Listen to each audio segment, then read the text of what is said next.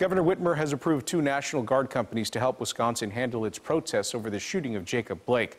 Whitmer says the request was made by Wisconsin Governor Tony Evers.